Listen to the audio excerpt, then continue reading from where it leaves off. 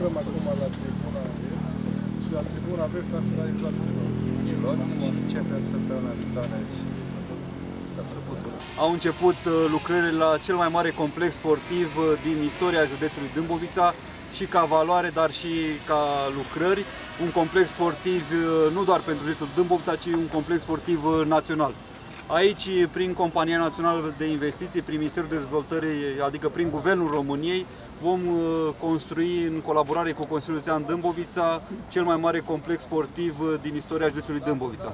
Va fi un stadion uh, cu 12.402 locuri, cu piste de atletism, încă un stadion pentru antrenamente, un tot cu piste de atletism și al doilea stadion.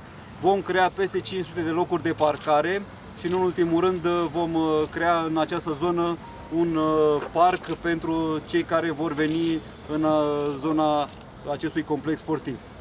După cum am spus, este cel, cea mai mare investiție din istoria județului Dâmbovița privind complexurile sportive, cu o valoare totală de peste 271 de milioane de lei, Consiliul Județean Dâmbovița contribuind cu 25 de milioane de lei cofinanțarea acestui proiect și bineînțeles am pus la dispoziția Companiei Naționale de Investiții, am pus terenul, terenul aferent acestei investiții și în ultimul rând vom asigura toate utilitățile necesare construirii acestui complex sportiv. Este un moment important, așa cum, așa cum s-a amintit aici.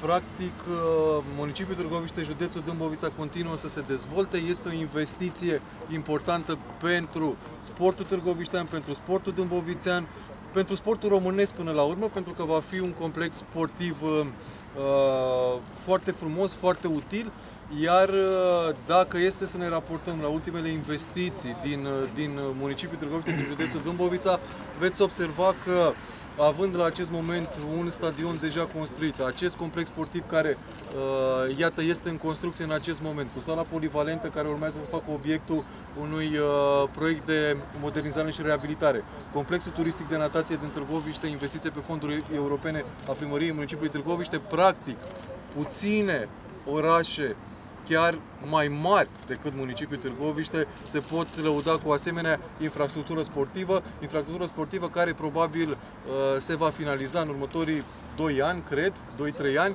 și, repet, vom avea una dintre cele mai moderne, cele mai importante infrastructuri sportive din România și sunt convins că vom atrage aici și foarte multe evenimente sportive benefice pentru municipiul Târgoviște și pentru județul Dâmbovița.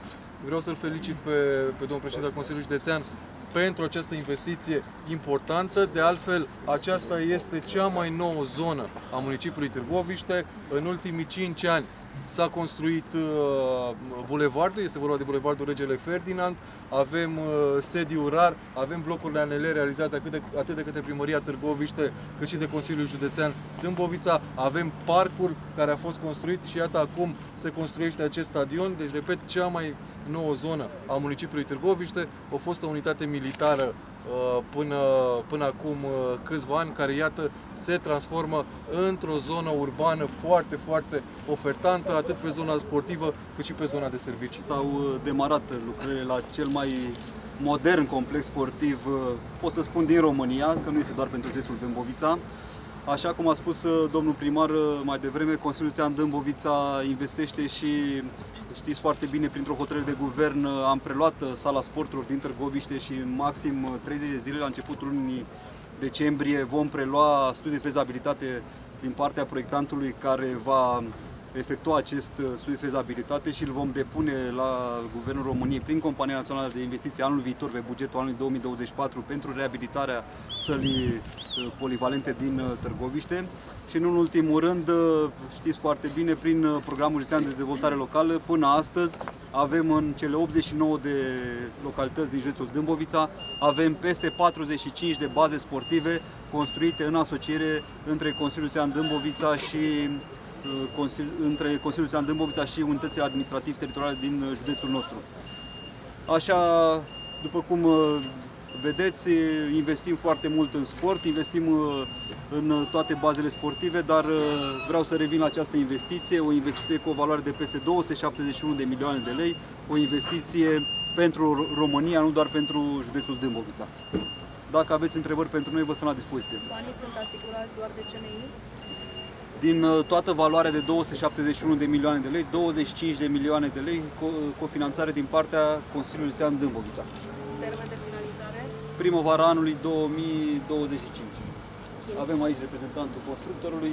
Eu, uh, acum ca să dau din casă, ne-am întâlnit cu o jumătate de oră înainte, mi-au uh, promis că vor finaliza, dacă nu se întâmplă vreun, vreo pandemie, vreun eveniment uh, deosebit în România, vor finaliza înainte de termenul pe care l-au în contractul de execuție.